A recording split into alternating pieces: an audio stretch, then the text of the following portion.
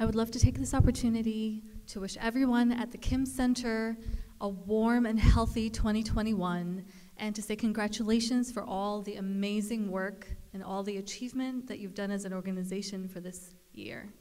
Thank you and namaste.